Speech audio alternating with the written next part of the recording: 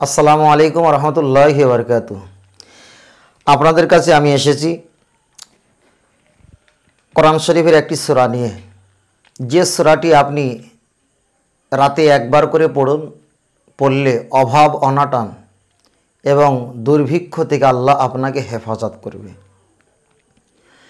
সেই সুরাটা কোরআন শরীফে এসছে, উনত্রিশ পারা আপনি এশার নামাজ পড়ে ঘুমানোর আগে উনত্রিশ পারাসরা মুল্ক এই সুরাটা পাঠ করতে পারেন। তাবারকাল্লাজি বিয়াদিহিল মুল্ক অভো আলায়াকুল্লি সেই ইন কদির। এই পুরো সুরাটা আপনি যদি পাঠ করে ঘুমান, আল্লাহ আপনার রাতের রিজিকটা বরকত দান করবে। কোরআন শরীফে আরেকটি সুরা এসছে, সুরাতুল ওয়াকিয়া। এই সুরাটা পাঠ করলে আল্লাহ আপনার দিনের অভাবটা মুছে দেবেন।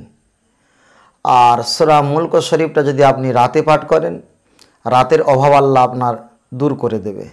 তাহলে রাতের অভাব এবং দিনের অভাব, সুখী সংসারে, আয় রোজগারে বিভিন্ন দিক দিয়ে আল্লাহ রহমত বরকত দান করবেন। সুপ্রিয় ভাই, যারা দেশ প্রবাসী, বিদেশ থেকে এবং কাছে এবং দূরবর্তী থেকে যারা দেখছেন, সকলের প্রতি আন্তরিক ভালোবাসা, আহলে সন্ন্যতল জামাত, সিলসিলা ফুরফরা শরীফের মতদর্শে। আপনাদের কাছে এসেছি, এতটুকু বলছি। আমরা সকলে গরিব সাইল এতিম, ভিক্ষুক অ্যাকচুয়ালি খুবই অনেকের ভিতরে অসহায় পড়ে গেছে।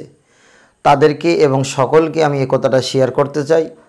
আপনারা চেষ্টা করবেন সোরা মুলক শরীফ এবং সোরা অকেয়া যদি বলেন, হুজুর, আমি কোরআন শরীফ পড়তে পারি না।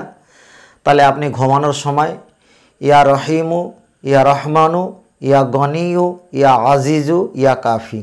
এই দোয়াটা যদি আপনি পাঠ করেন, দিনে, রাতে আল্লাহ আপনার আয়, রোজগারে, কামাইতে, রুজিতে, অর্থতে আল্লাহ বরকত দান করবেন সোহান আল্লাহ ভালো থাকেন, সুস্থ থাকেন। ও আখরি দাওয়ানা আনিল হামদুলিল্লাহ হিরবিল্লা আলমিন। আসসালামু আলাইকুম।